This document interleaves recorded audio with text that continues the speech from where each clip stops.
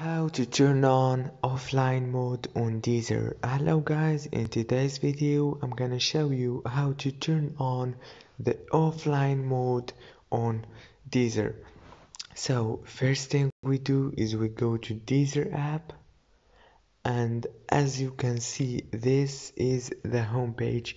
Now you go to the top corner here, click on this icon and then go to offline mode and now you can turn it on from here or turn it off as you want. And yeah that's it for today's video guys. I hope this video was helpful for you. If it is please leave a like and comment below if you have an issue or something. Thank you so much for watching. Till the end